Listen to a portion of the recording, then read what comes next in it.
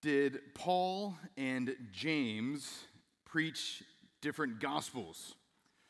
That's a claim that is made by some. If you don't understand the question, I, can explain it to you. Uh, Paul, uh, the Apostle Paul, in his letter to the Ephesians, said this He said, For by grace you have been saved. We just sang it grace and grace alone. So Paul writes to the Ephesians, For by grace you have been saved through faith. And this is not of your own doing, it is the gift of God, not a result of works, so that no one can boast. So, saved by grace through faith, emphatically not of works. That's Paul. James, in his epistle, writes this What good is it, my brothers, if someone says he has faith but does not have works? Can that faith save him? Faith by itself, if it does not have works, is dead. You see that a person is justified by works and not by faith alone. Faith apart from works is dead. So, which one is it? Are Paul and James preaching different gospels? Paul saying you're saved by grace through faith and not of works, and James saying that you're saved by your works? Well, the answer is that they're not preaching different gospels. They're preaching the exact same gospel, but they're looking at the topic of salvation from different angles, if you will.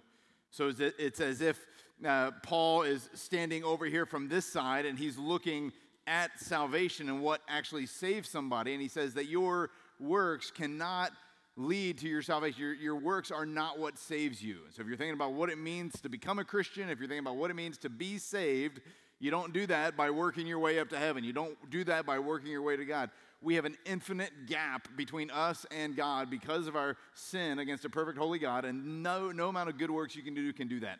Salvation is a free gift of God. So Paul is standing on this side of it, looking at salvation and saying, Your, your, your works can't save you. James is over here saying, Yep, absolutely true. Agree with what Paul said. But from this side of salvation, once you're saved, looking back at that same event, saying, If you don't have works that go along with it, then you actually don't have this thing to begin with. So, so your works don't save you. It's by grace uh, uh, through faith that somebody is saved. But then once you're saved, you will have works that spring forth out of a heart that's been saved. And so James is looking at it from this side, Paul's looking at it from that side. Well, that second angle is what we're going to consider in our text this morning. The, the reality that without works, faith is dead. And I want, to, I want you to have in mind the, the question of why is this distinction so important? Why is that reality that your works matter? So your actions, your deeds, your speech, your life, your discipleship in the Lord, that, that all of that is very, very important. That matters. So have in your mind, why is that reality that your works matter? Why is that truth so essential to the Christian life? Because it is. Well, if you'll join me in Matthew chapter 21, that's where we'll be this morning. If you haven't been with us recently or you're a new visitor this morning, we're glad to have you. We are going through a series in the parables, and so we're just uh, mainly in Matthew and Luke, jumping around and looking at different parables of Jesus up until we get to the, the summer months. And this morning we find ourselves in Matthew chapter 21, verses 28 to 32, looking at the parable of the two sons. Matthew 21, verses 28 to 32. As we look at this, I want us to see that faithfulness is follow through. Faithfulness is follow through. You'll see that in our text, Matthew 21. You can follow along in your copy of God's Word as I read, starting in verse 28. What do you think? A man had two sons, and he went to the first and said, Son, go and work in the vineyard today. And he answered, I will not. But afterward, he changed his mind and went. And he went to the other son and said the same. And he answered, I go, sir. But he did not go. Which of the two did the will of his father. They said, he's talking to some religious leaders, we'll, I'll give you the context in just a minute, but they said, the first. And Jesus said to them, Truly I say to you, the tax collectors and the prostitutes go into the kingdom of God before you. For John came to you in the way of righteousness, and you did not believe him, but the tax collectors and the prostitutes believed him. And even when you saw it, you did not afterward change your minds and believe him. The parable of the two sons. I'm going to look at these and, in kind of two different groups. We're Going to consider one son and then the other and the application uh, that he's making to this group before them. So we'll look first of all at those who don't get it. Our text begins in verse 28 with Jesus asking a question. He says, What, what do you think?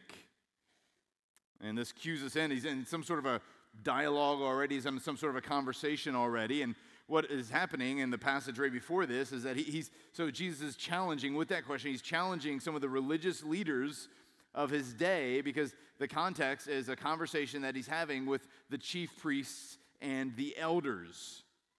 And they've just questioned Jesus by questioning his authority. They said, Wait, by what authority eh, do you do these things? And who gave you this authority? So these religious leaders are kind of challenging Jesus. They're seeing his powerful teaching and his cleansing of the temple and all, all these things that he's doing. And uh, curse, he just cursed the fig tree in the passage right before that. And, and the, these people, uh, these religious leaders around him said, By what authority do you do these things? And who gave you this authority? That's in Matthew chapter 21, verse 23. Now, instead of answering them, uh, Jesus uh, was a master at this. And so Jesus just poses another question to them. And he says, If you answer my question, then I'll answer yours about my authority. And so my question to you is about John's baptism. And what he means by that is really John's baptism, meaning the ministry of John the Baptist. John the Baptist was this forerunner who came to make way the ready uh, make ready the, the, the way of the lord for when jesus came and so jesus says the baptism of john right the ministry of john the baptist was that of human origin or divine origin the, the ministry of John. And so they kind of get together and they discuss it and they're like, oh, shoot, kind of catch 22 here. If we say, yeah, we think that his ministry was divine, then he's going to say, well, why aren't you following him then? So we can't say that. But if we say it's only human origin, everybody around here loves Jesus and John, so the crowds are going to get mad at us. So they come back and they're like, no answer.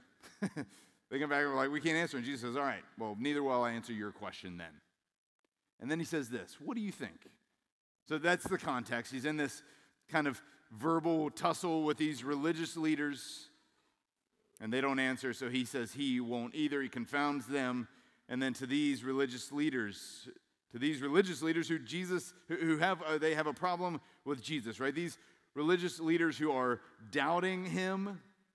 And so they've, they've, they don't want to go on record about John's ministry because they don't want to go on record about Jesus' ministry either. And so they, they're doubting him. They're calling into question his authority to these religious leaders who, who aren't bought in enough to say that John was on a divine mission. or these religious leaders who, who, who aren't bought in enough to know that uh, John was making the way for the Messiah, to these religious leaders who are ignoring the preaching about the kingdom that's been happening to this group, Jesus rattles off three parables in a row that serve as a rebuke to, this, to these religious leaders. And the first one, the first of those three parables that are kind of a rebuke in this context of this question about authority, is the focus of our text this morning. The parable itself is pretty simple. You probably don't need a whole lot of explanation of what's going on here, right? There's, there's a father and he has two sons, and he goes to them separately and individually and asks them both to go serve in the vineyard. And the first son says that he's not going to do it. But then he changes his mind and he goes and ends up working in the vineyard anyway. The second son says he will do it, but he never shows up on the job. Again, I want to look at both of those sons in turn and who they represent. So let's think first about those who, who kind of get it wrong, right? The, the, those who are, are being corrected with this parable. It's the second son. That's who these religious leaders were in the parable. Jesus is telling this parable to show them that they are the second son, right? The, the second son talks a big game. The, the second son is initially committed, but then he doesn't show up. And thus, he, he does not do the will of his Father. Right? Saying all of the right words is ultimately meaningless if you don't back it up with action and obedience. Making an initial verbal commitment needs, means nothing if you don't actually do the thing you said you were going to do. That's the state of the religious leaders in Jesus' day. They said they loved God, they said they valued God's word, they said that they wanted to do His will, but they actually didn't do any of those things. Words are easy to say, but follow through is how we know. And you know this is true, right? It's, a, it's the difference between saying that you're, you're, you're, sorry to somebody rather than showing that you're sorry versus repentance and an ongoing uh, uh, kind of lifestyle that shows your sorrow and your apology and your repentance. It's the difference between agreeing to Del Ray Baptist Church's church covenant for you church members here, right? We, we agreed when we became members to we will use our words to build up one another and to glorify God rather than speaking lies and deceit and slander and gossip. Our church covenant says we will rejoice with those who rejoice and weep with those who weep, helping to carry each other's burdens. We've agreed that we said we will cheerfully and regularly contribute to the support of the ministry, the needs of the church, and the relief, relief of the poor. So it's the difference between saying, yeah, sure, I'll do that, I'll sign up on that, versus, versus us living it out when it's hard, living it out when times are tough. Right? It's taking a job, vowing that you're going to use this job that the Lord provided for you to really make a difference, to honor Him in the way you work and use it as an opportunity to glorify Him. Saying that, that's your vow, that's your commitment, versus prayerfully and intentionally with accountability, putting that into practice through uh, proactive uh, presence in your place of occupation. Right? It's, it's, it's saying vows at an altar when you get married versus the years of living those out. Those things take a moment to say, but a lifetime to live out. You get the point, right? Talk is cheap, as they say. In the same way, and most importantly, we can say we are on Team Jesus and then not do what he's asked of us. We are all in this parable. We're all being called to work in the vineyard. Sadly, many who say that they'll be there don't show. In my experience, not all who decline to work, as it were, do so with the same posture. I think it's helpful to think through, to identify ways in which this disease might be manifesting itself and trying to follow God versus not truly doing the Father's will. Let me suggest for you five workers that I've met or five workers that I've been in my own life. The first worker is the ignorant worker. Right? Someone who says, Well, Jesus is calling us to work in the vineyard. And you, you say, I actually didn't know that this was what I was being called to do. Right? I, I thought this whole Christianity thing was just kind of checking a box on a form. I thought it was just kind of like, how do you identify? Sure, I was identified as a Christian. I, did, I didn't know that I was actually being asked to do more than that. It was just kind of an identifier for me. Maybe you just never had that modeled for you, right? It's not just, about, I thought it was just about picking religious affiliation. Sorry, I didn't know that there was more expected of me. The ignorant worker, the seasonal worker, right? Some Say, okay, yeah, I realize that, that God's calling me to obey Him and, and, and uh, live a life of, of following Him and, and showing that by my work, showing that in how I live, but, but uh, there's some other season is the time to live that out. Maybe, maybe a season past. Uh, my college days were really the glory days of, of putting it all on the line and following Jesus. Or maybe it's a future season. Hey, I'll, I'll get to that, like we talked about last week. I'll, I'll get to that after I make my money. I'll get to that after our kids are out of the house. I'll get to that whenever it is. It's the seasonal worker, the tired worker. It's impossible to do this. Work in the vineyard, gosh, it's hard. it's hard work. So why bother? Right? Telling Jesus I'm on his team is way easier than actually going out and doing the work. I just don't have the energy or the inclination to do all of that. The optional worker. Right? It's, not that I didn't know that working was expected. I knew that that was expected, and I, I thought about it, but I was just going to get to it after all this other stuff. It's kind of an extracurricular thing to go and do what Jesus is asking of me. the social worker, right? I'll do it, but only for the attention. Saying that I'm showing up publicly before others and hey, I'm on Team Jesus, that really got me all the reward, uh, reward I was looking for in the first place. It got me, that, that was the win, that was the clout, was to just say that I was on Team Jesus socially without living it out. Whatever our posture, church, we were being called to trust Christ and to be all in. Right? And that's what I love about this parable that trust Christ piece.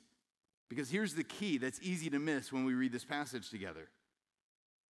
Though everything that we just said is true, right? And I think is in the parable. You have the son who's being asked to go and work, and he says, Yeah, I'll go do it, and he never shows up to work. Right? There's ways that we're tempted to do that. There's ways that that disease is in us. There's ways that that is present in our lives. Everything we just said is true and is in the parable, but there's more to the story. It's not just that the religious believer, uh, the, the, the religious leaders believed but didn't practice. Right? You have to see that in the story. It, it, as if they had proper knowledge, but there was kind of a laziness or a disconnect for them between the head and the hands, between the knowing and the doing. It's not as if they really had the belief part down, but they just failed to act on it for whatever reason. No, look at verse 32. Look at verse 30. This is the opposite side of that same coin. Look at verse 32. The issue was an issue of belief. You see that? Jesus says, For John came to you, after he tells the parable, he says, John came to you in the way of righteousness, and you did not believe him. Now, the tax collectors and the prostitutes believed him. But you, even when you saw it, you didn't not afterwards change your mind and believe him. You see that three times in the text believe him. Right? Their issue was an issue of belief. John came in the, in the way of righteousness. Right? John came, it says John came in the way of righteousness, meaning he, he came preaching about the way of righteousness, that there was a way to be made right with God. Righteousness is what we need that we can't get on our own. And John the Baptist came saying, Behold, the Lamb of God who takes away the sins of the world. You can be righteous by believing in him. You can be righteous by trusting him. That's how John came, and these people said, I don't need all that. And they didn't believe him. Again, John the Baptist was, was called a forerunner for Jesus. He came declaring the way of the Lord. He came, he came saying, Repent, for the kingdom of heaven is at hand. And he was a huge signpost, a big neon sign, a big arrow pointing to Jesus as the Christ, the Messiah. And Jesus then comes on the scene preaching that same message repent and believe. Believe, believe, believe. But they wouldn't do it. Their issue was an issue of belief. Do you see that in the text? Is that surprising to you as you read this parable? It is for me because the way that this parable goes we might expect the application of it to be something about how the religious leaders aren't working in the vineyard as they ought to. Right? He tells this whole story, and there's this whole the, one of the sons says that he's going to show up, and then he doesn't show up. You might expect Jesus to then turn to the Pharisees and be like, "Hey, where have you guys been? Why haven't you been working? Why haven't you, why haven't you been doing stuff?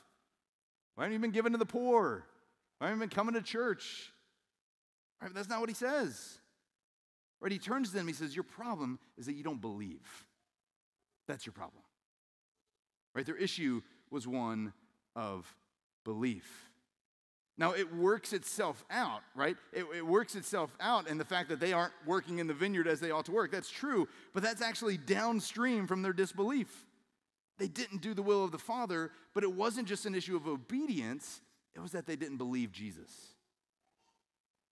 So, church, basically, we, we can say we're spiritual, right? We can say that we're religious. We can say that we're Christians. We can say that we are followers of God.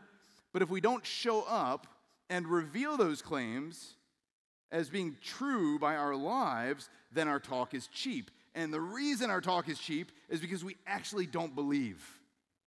Disbelief breeds disobedience. And on that point, perhaps some helpful application here might be for you just to even to think about your own fight with sin. Right? Your own battle, as Paul puts it in Romans 8, to by the Spirit put to death the deeds of the flesh so that you may live. Your own struggle with sins and reflect on, on how much of our sin can be traced back to what we believe about God. That's not a rhetorical thing. Actually, I want you to think about that.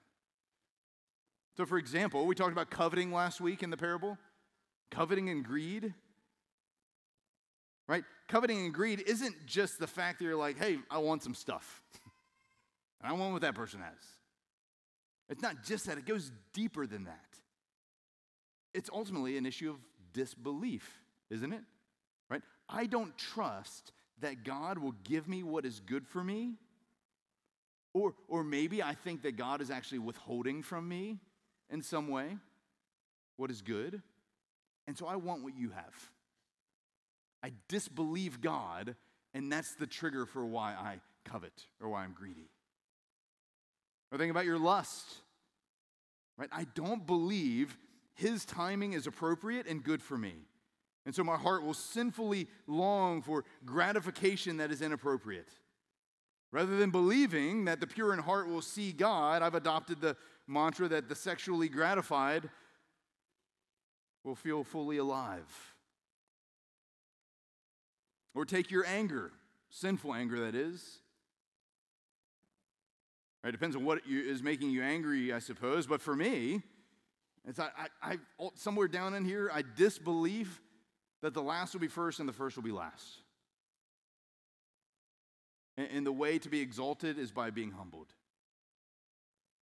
And the path to life is service, not propping yourself up. And so when things get in the way of that in my kingdom, I get mad.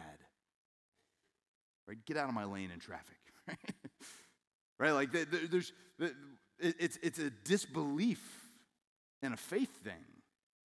Disbelieve what God has said in His Word. You see this? There's disbelief that is often lurking behind why we do or why we don't do certain things. In our text this morning, that's exactly what was the problem with these religious leaders. You'll note that it goes deeper than that. Look at verse 32. Not only did they disbelieve, but it was a, it was a persistent, obstinate disbelief, wasn't it? He says, even when you saw it, the it there is, is, sinners believing in John's message, right? They saw that. They saw people responding and lives changed. And he looks at the religious leaders like, even when you saw it, you did not afterward change your minds and believe. Even with full evidence in front of them, they doubled down on their disbelief. There was no way they were showing up in the vineyard for the Father. They talk a big game, but they actually don't want to follow the Lord. And Jesus is here rebuking anyone who would posture as a son, but who doesn't actually believe. And you can tell that they don't believe because they don't do what the Father asked them to do.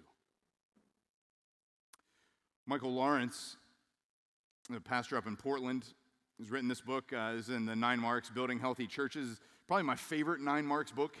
Uh, they've, they've printed a ton of them. This is maybe number one for me. It's called Conversion. Um, I have a shelf full of these. If anybody, uh, based on what we talked about here this morning, is like, I need to read that book, come see me after the service. Um, phenomenal book, uh, Conversion. And in this book, uh, the subtitle is How God Creates a People. Uh, and uh, Lawrence uh, investigates what it really looks like to be saved. What does it really look like to be converted? What does it really look like to be a Christian? And each chapter, he presents kind of a counterfeit that often confuses the issue for us. The first chapter in the book is called New, Not Nice. He says that, that's what it means to be converted, is to be made new, not to be made nice. Right? The, the second son was super nice. Do you see that in the text? He's like, Yes, sir. Right? I go, sir. He looked all put together. He looked all proper. Super nice guy. You'd love to have him over for dinner. Real polite. The religious leaders look all proper, but being nice is not the same thing as being made new, having a new heart that actually loves Jesus. We must be made new in Christ, not just be made nice. Actually, have to believe Him and trust Him and have faith in Him. Let's look at the other son. Kind of those who do get it. The religious leaders, right, whom Jesus is rebuking, are the second son in the parable. They're contrasted with the first son, who responds in the exact opposite way. And the father, likewise, in verse 28, if you look there, tells him to go to the vineyard. The son, in verse 29, uh, says, I will not. which would have been a shocking response in this context, given the authority of fathers in this culture. And so his son initially refuses, but then it says he afterward he changed his mind and he went. You should note that phrase if you're kind of studying this passage on your own. Note that word, that phrase, changed mind, shows up twice in our passage. Right, so it just says it right there that the, the first son said, I will not, but then he changed his mind. And if you look down in verse 32, the note about, or the, the comment there about changed minds, it's repeated in verse 32. That's the exact thing the religious leaders wouldn't do, is the thing that the first son did, right? Changed minds. They wouldn't change their minds about the ministry of John and therefore the ministry of Jesus. Not the first son. First son initially said no, but he changed his mind and went. It's exactly what the first son does. He goes and he works in the field as the father had asked him to do. Now, listen, anytime you're studying parables, we've said this, Garrett said it, I've said it, don't, we don't need to press the parable to say things that it's not saying. Okay, so if you're reading this or, or press the parable to address things that it's not meant to address. So, as a father, if I were to tell my four daughters to, hey, uh, I'd like you guys to go and clean the kitchen. And two of them say no. And then they end up going and doing it. And then two of them say, okay, I'll do it. And they never show up. Honestly, I'm not happy with all four of them. Right? Like, I'm not, like, there's no winners for me in that situation. Everybody's messed up. Uh, but, but so, so don't take this and be like, gosh, what is going on here? I don't really, so don't press the parable to, to, to address all the things that we might think it, it uh, would be appropriate in our culture and in our context. Right? That, the point that Jesus is illustrating here, right? We're not meant to dissect the inappropriateness of the first son saying no, I don't think. Rather, look at the point Jesus is trying to make. Jesus is illustrating that those who do the Father's will are those who actually show up and do the Father's will. That's what he's trying to say. Regardless of their initial appearance, regardless of their initial reception, regardless of their initial interaction with the Father, if they actually follow and listen and obey, those are the ones who delight the Father. The religious leaders would have thought that that was them. Right? They were the obedient ones. They were the favorite sons of the Father.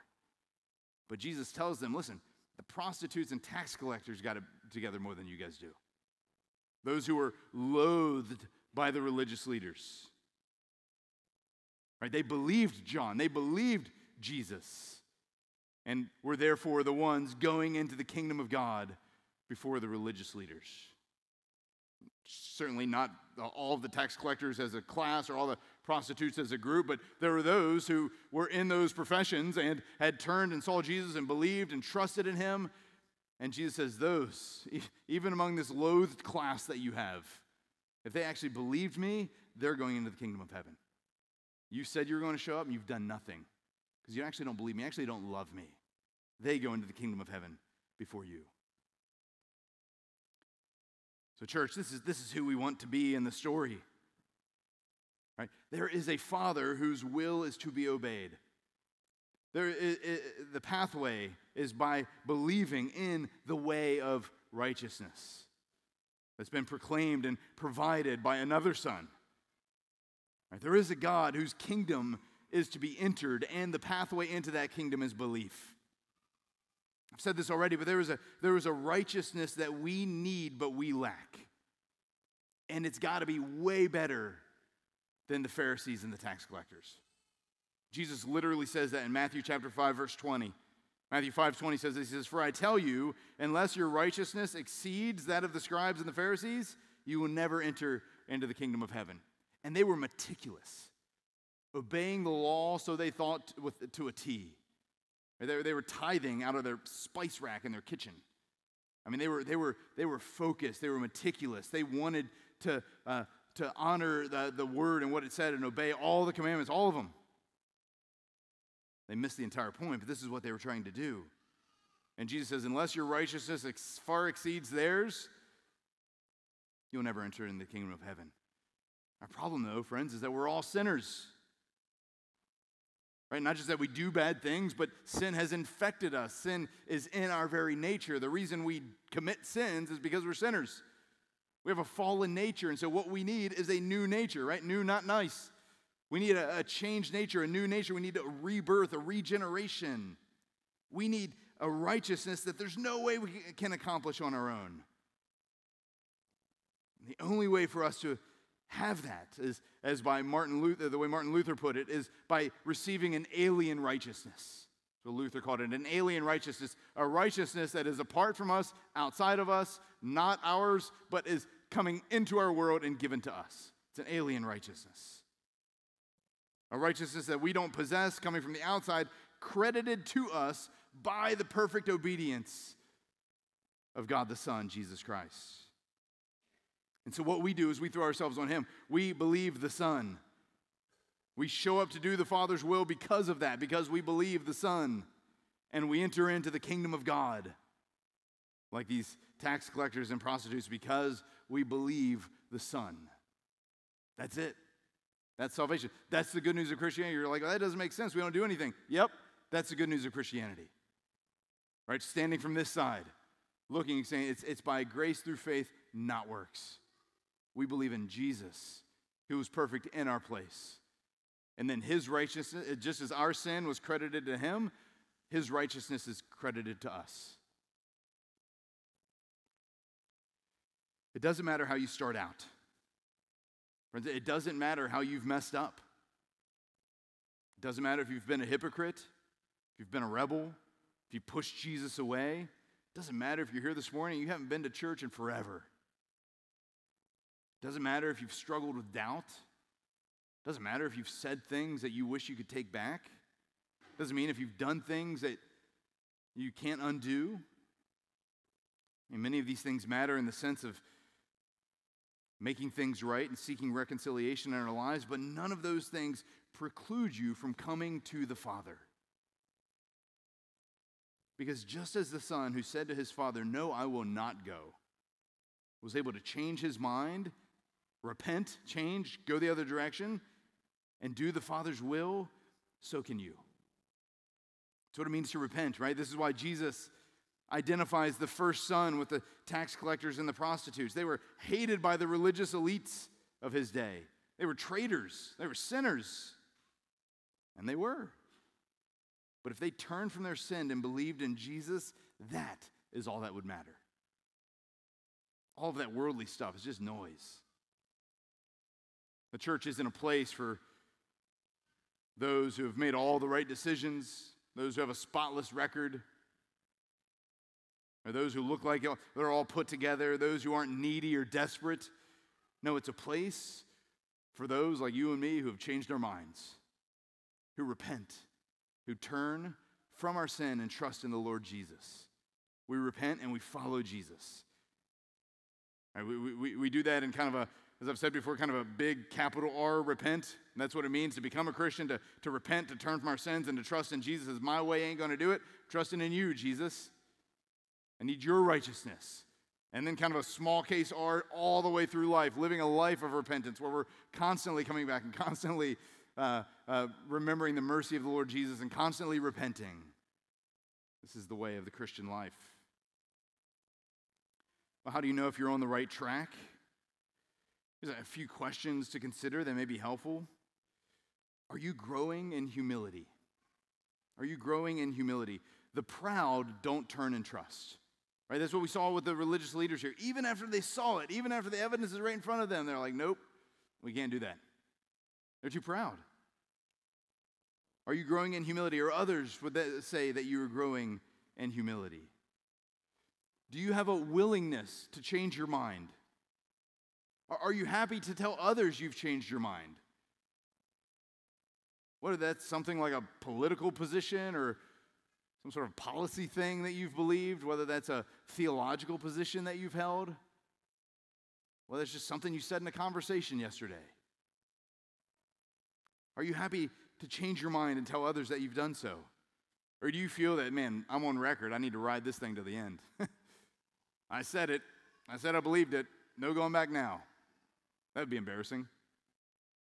All right, will you change your mind?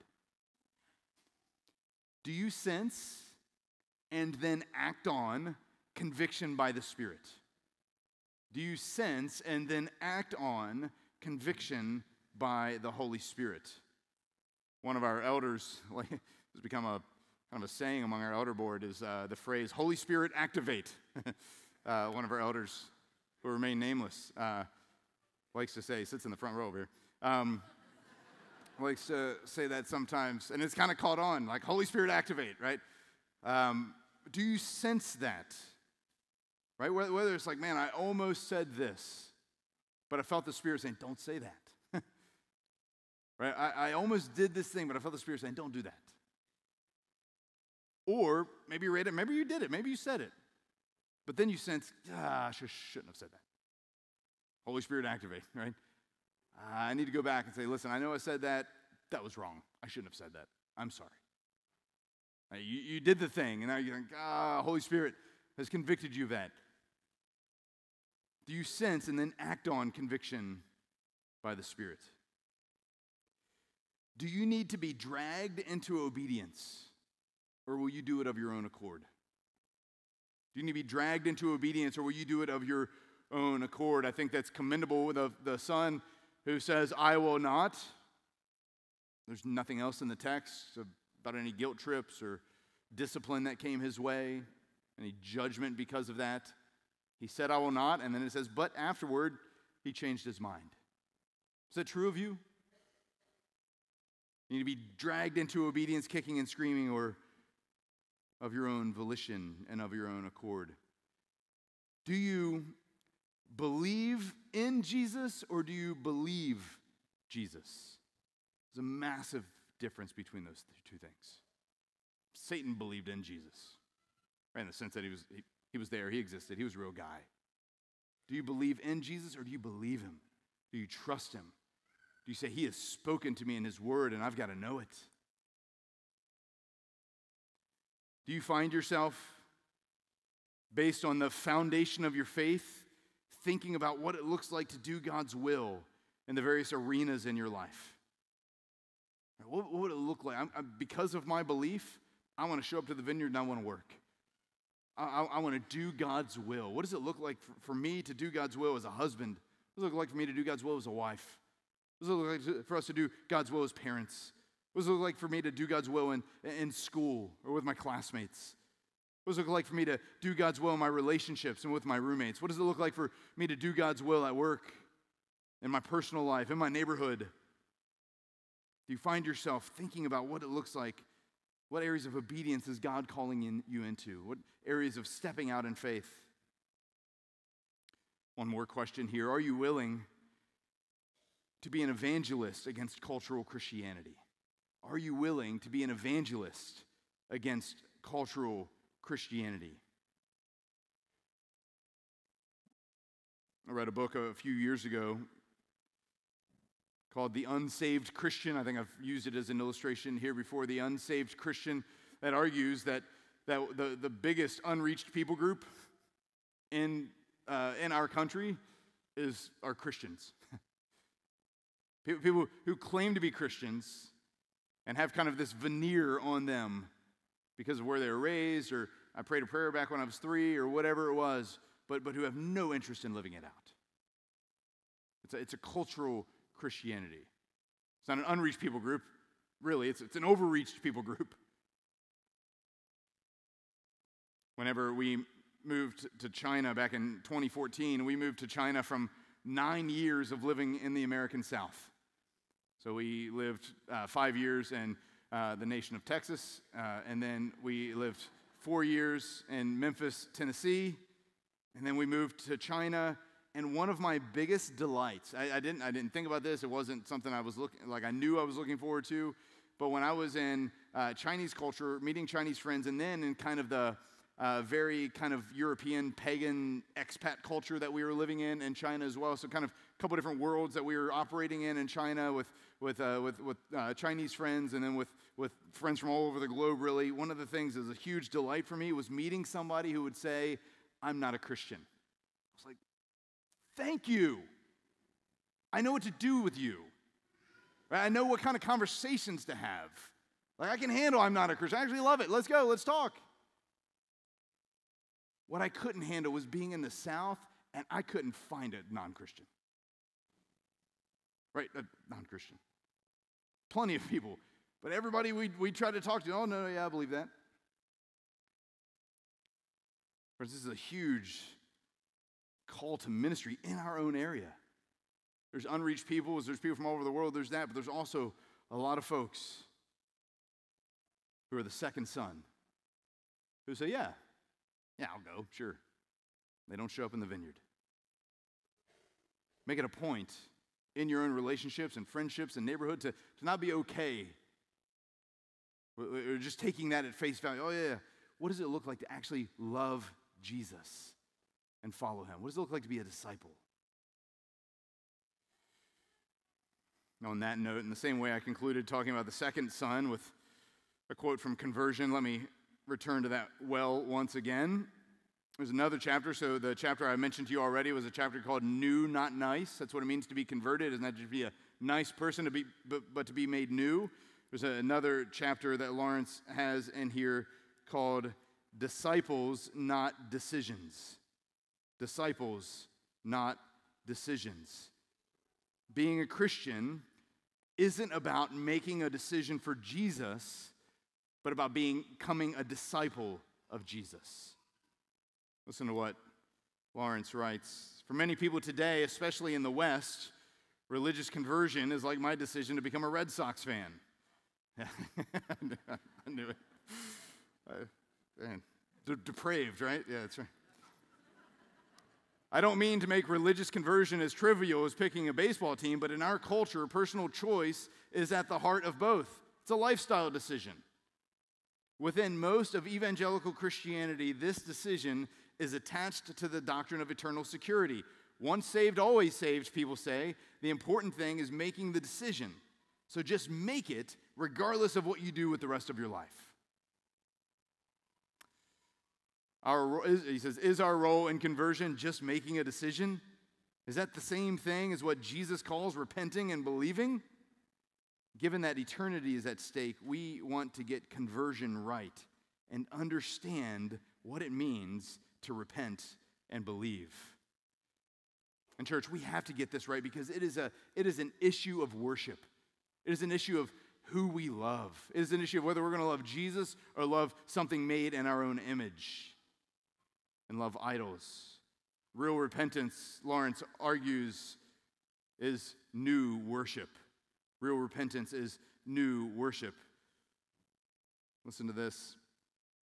He says if repentance really is a change of worship, then our churches must not pressure people to make a hasty, ill considered decisions for Jesus and then offer them quick assurance. Instead, we must call people to repent.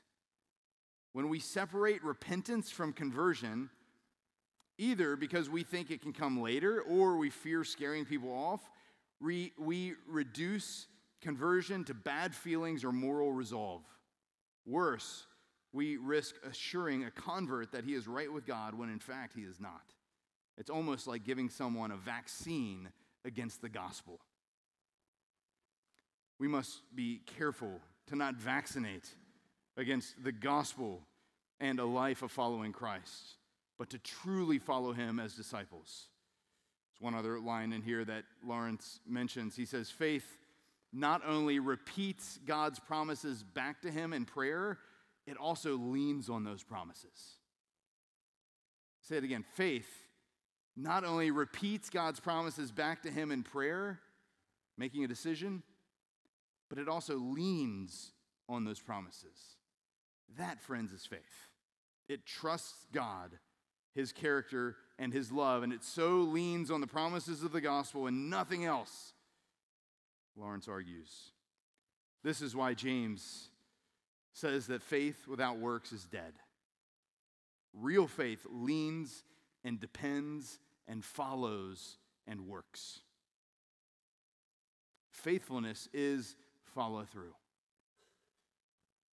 And if you double click on that, I think we could summarize the whole thing by saying faith is being brought near, and then faithfulness is follow through, having been brought near.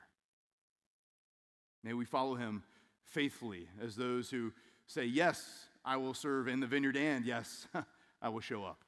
Let's pray. Heavenly Father, we pray that you would be our help.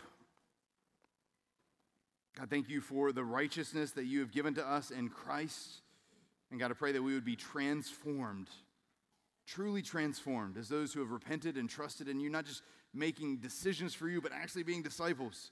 Not just looking all cleaned up and looking like we have it together, but those who trust in the shed blood and the body on the cross and the empty grave of your Son, the Lord Jesus. God, may we cling to that hope and trust in Him, even as we're reminded of it here at the Lord's table. We pray in His name. Amen.